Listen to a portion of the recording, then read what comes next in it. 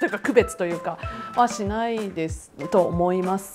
今の時代だと。もちろん厳しくは育ってますけれども甘やかす時は甘やかして、まあ、どちらかというと夫の方が甘やかしてる感じありますね。可愛い可愛い。私逆に自分が男の子のようにといえば、まあ、自分のちゃんと仕事を持ってキャリアを持って一人でも生きていけるようにで育てられたので甘やかされたというイメージはない。ないんだね。うちも男の子しかいないからあれなんですけど性別で分けてはないかな。男だからとかっていうことはないかなと思いますね。だ欲しがるものを与える。与えない。なんかその条件付きとかですかね。例えばおもちゃ欲しいって言ってきました。今捨てれるおもちゃあるんだったら買っていいよみたいな。私ふ物増やさないって決めてるんですよ。考えさせる、うん、選ばせるっていう風にあんま子供っぽく接してないかもしれないです。なんか交渉してるっていう感じでやっていて、うん、あんまりその甘やかしもないし厳しくもない。そう人と人っていうですね。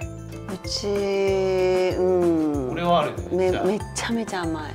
あんま関係ないですそううちはあんまりうん。なんか私も甘かす時すごい甘かすけどあの両方厳しくしたりとかもしてますね。我们家好像应该还好，就是 精神上面可能会有这种想法，但是在物质上面，其实两个孩子都是一视同仁的。但是儿子上面就是可能会，我对他的学习呀、或者是他的那个生活的自能能能力方面，会对他比较提出一些比较高的要求。可能对女儿的话，可能会比较包容一些，啊。但确实，我也就是我的想法是不是真的不是物质上，我觉得是精神上的对，就是可能对于女儿怎么说，我我觉得还是要给她更多的爱。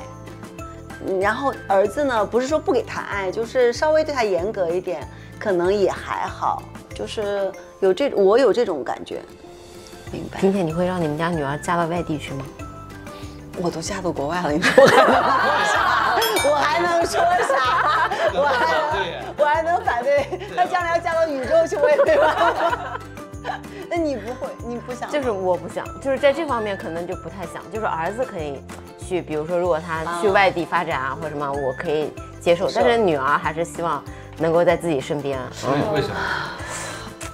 怕遇到渣男，被骗走了。怕遇到渣男，可能没有看男生遇到渣女的话怎么办呢？就是大家可能中国人会觉得遇到渣女他就成长了嘛，就也还好，不会受伤害太大。对。到了日本之后，因为我们家孩子日语不好，就必须让他补习，花的钱还蛮多的。我觉得比在中国花的教育费多好多。花钱多吗？我们家其实还好，上了初中以后，他的那个花费可能会比小学要高一点，但是其实他小学的时候还好，因为上的是嗯公办的小学，没有学费啊，就额外的一个课外班，但是课外班其实也不是特别贵。であの私すごいおお話聞いてて意外だったのが私すっごくこっちの習い事高い印象があってあの中中国人のあの小学校ののママたちも1時間300元とかのクラスに行かせてるのですごくお金かけてるなっていう印象はあります。上海だからじゃない？それあと字はするとそのぐらいやっぱりかけものすごくお金かけてると思います。で東なのですごくすごくお金使ってる感じがうちなんて全然使ってない方かなぐらいの印象なぐらいものすごくお金使ってでもあと私日本に行ってから暇なんです子供たちは。もう息子中学校なの中学生なのに帰ってくるのが3時。まあ時々友達と一緒に遊びに行くんだけどそんな毎日行くわけではないからやっぱり塾行かせないと。家でずーっとゲームしてる。もうだからちだから私中国の方が良かったんですよ。もう7時まで拘束してくれるから。もうもう帰ってきたらもう本当にゲームばっかりになっちゃうからもう時間を埋めてあげないと。でもそれ言う人いますね。そう